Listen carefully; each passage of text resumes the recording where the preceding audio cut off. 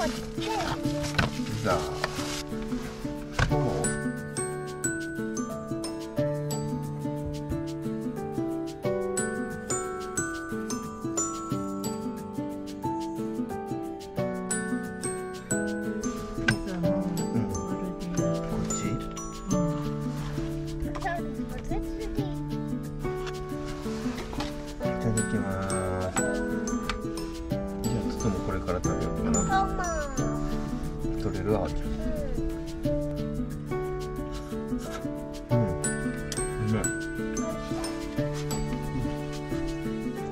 テレビら目い悪い。おいちゃんフォーク持ってる？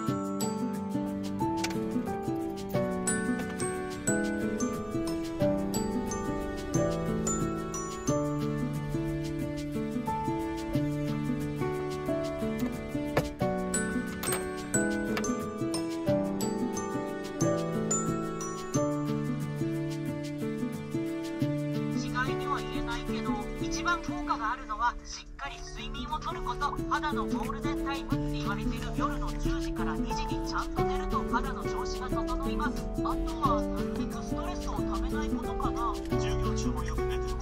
その流れでこれも答えられそうだよ。ストレス解消法を教えてください。これはお菓子とか裁縫とか集中